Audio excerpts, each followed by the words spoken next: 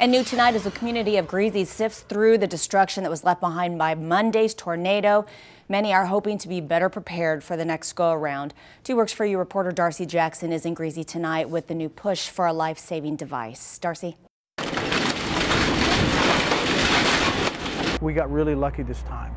The familiar aftermath of a twister. This isn't the first time a tornado came within sight of here where we're standing in the last few years. There's been another one that come just a little bit to the south.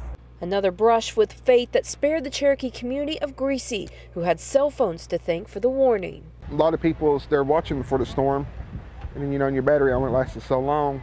Luckily, no one was hurt when that EF1 funnel rolled through town Monday night, but with no warning system in town to speak of, a lot of people feel this destruction represents their vulnerability, and state commissioners agree.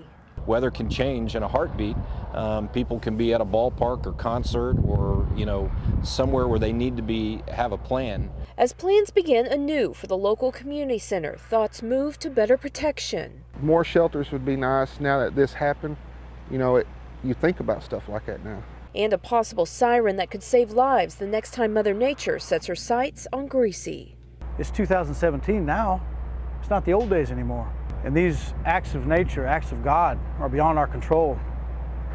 But we do have control over modern technology. In Adair County, Darcy Jackson, Two Works for You.